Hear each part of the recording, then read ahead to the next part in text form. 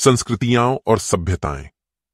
जब मानव ने जंगलों को छोड़ा और खेतों में बीज बोने, तब संस्कृतियों और सभ्यताओं की नींव रखी गई।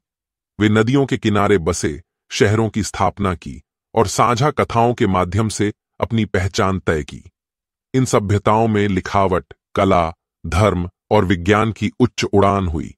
ये मानवता की अद्भुत यात्रा थी, जिसमें हमने सीखा कैसे साथ में जीवन जिया जाए और एक साझा उद्देश्य की तलाश की।